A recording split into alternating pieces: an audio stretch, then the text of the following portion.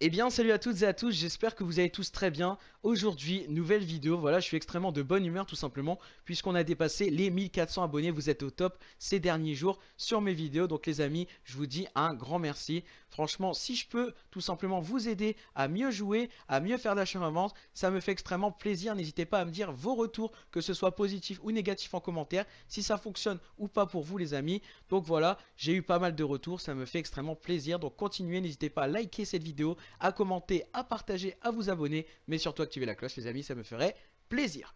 Aujourd'hui, nouvelle vidéo tout simplement pour vous montrer, on va se concentrer sur cette nouveauté de FIFA 21 qui est le Creative Run. Qu'est-ce que le Creative Run tout simplement? C'est pouvoir créer et contrôler ces différents appels avec vos joueurs. Donc je vais vous montrer ce que ça donne et ensuite je vous montrerai comment faire. Donc là je suis comme d'habitude en coup d'envoi mais ça fonctionne en ligne, vous inquiétez pas. Donc c'est pour ça n'hésitez pas à utiliser cette fonctionnalité. Vraiment si vous avez des joueurs rapides ça, peut vraiment casser des rats. Donc je pense à Mbappé, à Neymar, donc après je pense aussi à Werner, à des petits joueurs cheatés. Après il y a aussi. Moi par exemple je vais faire le SBC en dessous je sais très bien que j'ai cassé des reins grâce à cette fonctionnalité. Donc je vais vous montrer ce que ça donne. Vous voyez, hop, j'ai sélectionné Char. Donc là, hop. J'avance avec Kaleta. Donc vous voyez, je ne contrôle plus le joueur. Je lui demande. Pareil. Donc je lui redemande par derrière. Hop. Donc j'arrive très facilement au but. Donc après, là, on est en coup d'envoi. Donc c'est assez normal. Mais vous allez voir, ça crée vraiment des espaces. Ensuite, cette fonctionnalité est aussi intéressante puisqu'on va pouvoir tout simplement à chaque fois en fait il fallait euh, loquer son joueur pour pouvoir le sélectionner. Sauf que là, on va pouvoir sélectionner les autres joueurs sans pour autant avoir le ballon avec eux. Donc hop, vous voyez, et hop, j'ai sélectionné le joueur d'au-dessus. Donc les différents joueurs. Voilà, hop, et là, je donne la balle à Camara. Donc je vous explique comment utiliser cette fonctionnalité. Donc c'est très simple en fait, chaque fois que vous allez avoir le ballon, vous appuyez sur les deux joysticks, hop, une fois que votre joueur est loqué, donc vous voyez le petit losange, vous pouvez le sélectionner tout simplement. Et là, vous demandez un appel, que ce soit en triangle ou que ce soit en croix. Donc hop, je log. Tac. Et là, je contrôle la course de hop, mon coéquipier et de mon joueur. Ensuite, pour pouvoir sélectionner les autres joueurs, vous allez voir, c'est également très simple. Hop, vous loquez les deux joysticks.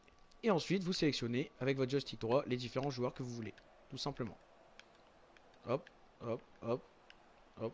Donc là, le joueur va aller dans la même direction. Hop, tac.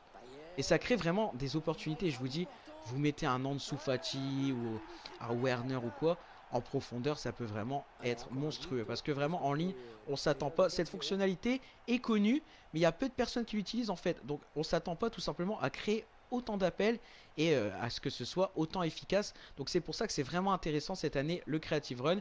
Et je pense que si vous arrivez à vous entraîner un petit peu, vous le gérez, ça peut vraiment être monstrueux. Je vous le dis. En fait, c'est comme si on était en club pro et on demandait l'appel avec euh, croix ou triangle. Et ça, ça crée vraiment des opportunités. Et je pense qu'avec un joueur rapide tel Ansu Fati, tel Werner, tel Za par exemple, ça peut vraiment être dévastateur et monstrueux en ligne.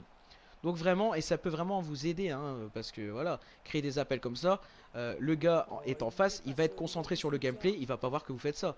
Et si ça peut vraiment vous créer des actions en profondeur, euh, créer tout simplement des occasions de marquer, je vous dis un joueur rapide, ça peut vraiment être dévastateur.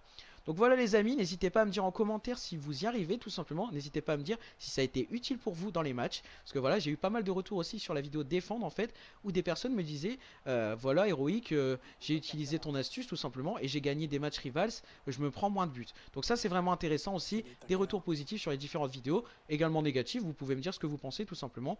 Mais voilà, tant que ce soit dans le respect de l'un et de l'autre. Donc voilà les amis, je vous souhaite une bonne journée, c'était héroïque. Salut